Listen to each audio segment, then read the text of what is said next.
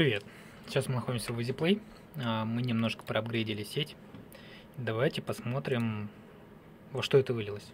Сейчас мы на нашем стримерском компьютере начинаем скачку GTA. Давайте перейдем в загрузки и понаблюдаем, что у нас здесь по загрузкам. Видим, что текущая скорость скачки 4 гигабита в секунду.